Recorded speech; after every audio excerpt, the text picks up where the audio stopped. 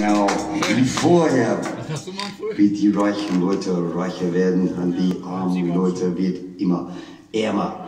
Dieser nur die unsterblichen Reichen, the immortal rich.